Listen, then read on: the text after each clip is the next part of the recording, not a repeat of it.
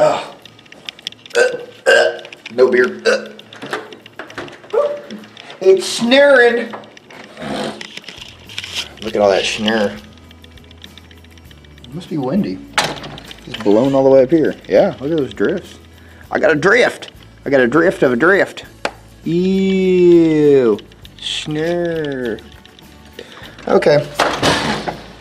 Funny thing is, is I'm gonna go to Walmart. Know why. Like big truck after I got that going and everything, I want to take that out and go to the store. I need to get a couple things, so play a little bit on the way. Even though it's like eight and feels like negative one. No, I want to go out and do it, so I'm gonna go right there. Start the old L Big Trucko uppo. We gotta make a phone call real quick. And on Walmart and get a few things that I need. I'm gonna set out some stuff. Should have last night, but I didn't because uh, I got nothing in my fridge. So I should have set some stuff out so I could have cooked today. But I can still do it. So let's do it. Oh dear Lord Almighty, I am home. It is one o'clock. One ten. One ten. I left eleven. Yeah, it's at eleven. well, that's because usually I go like um, to the Walmart and everything to avoid, you know, hitting all the Goodyear people. Well, I guess with all the weather and everything, a lot of Goodyear guys decided to take a half a day vacation, so they got off at 11 a.m. So I ran into a ton of people. Had good conversations with a lot of them and everything, so that's good. That's great. It's awesome. But man, I was hungry the whole time. But I got me a DeJearner. Cause I'm hungry. I'm heating up the that. Got my few little. I, that's all I needed was a few things and a case of water. That's all I needed. But I did set out some. It's all hard. Good deal. Let's get this stuff unloaded. Get me some food going, and so I can eat. Already made a phone call, so yeah, I gotta have my fingers crossed. Things are getting sent on, so see what happens.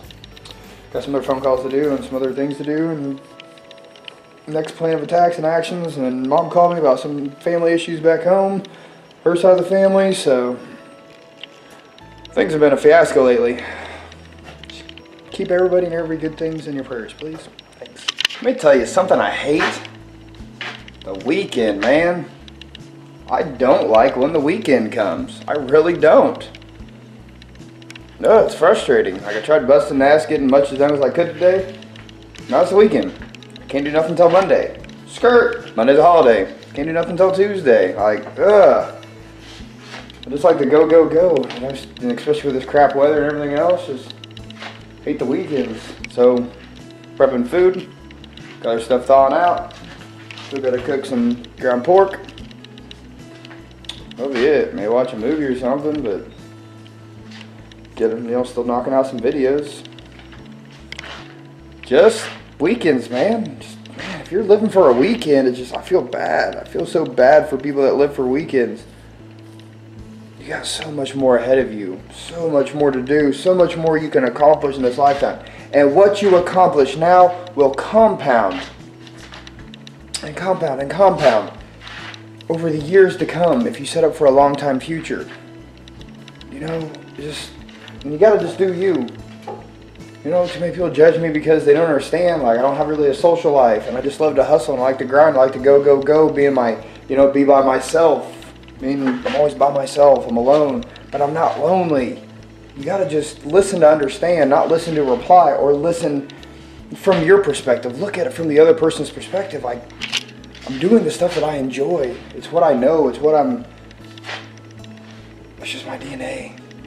That's it. You gotta follow just what is you. You gotta build and grow for what is you. Stop letting other people chattering and chirping in your ear. It don't matter. It's all bullshit because they're not you.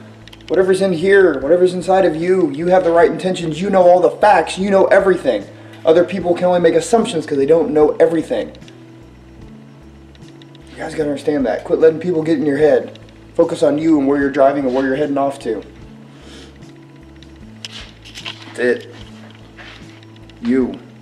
Focus on you. I'm gonna finish all this stuff up. Chill for us tonight. still planning and organizing what I got coming. I'm gonna talk a lot about a lot of things that I do. I give you guys like overviews and stuff. Give a lot of my moves in silence. Not all. I'm not out there just chattering every single thing I'm doing. And that's what a lot of you have like a lot of misconceptions about me. You assume you know who I am. You just see what I want you to see. You just see the surface. You don't know what I really do. That's okay. It's because what I decided to put out there. I decided to put that out there. I decided to let you guys know what I want you to know. I decided to keep things to just myself and go. That's why I can't get mad at anybody when they assume who I am and they assume the life and everything else that's going on in my life. That's a repercussion of my actions. So always think about that from that perspective when some people don't understand you. If you put 100% of things out there, you haven't. The majority of people are going to assume. Understand that.